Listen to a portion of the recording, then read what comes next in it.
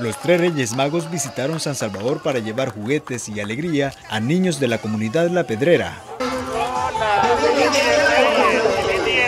Los tres Reyes Magos, Gaspar, Melchor y Baltasar, fueron entregando más de 300 juguetes que alegraron el día a los niños del lugar. Alexander Aguillón Martínez.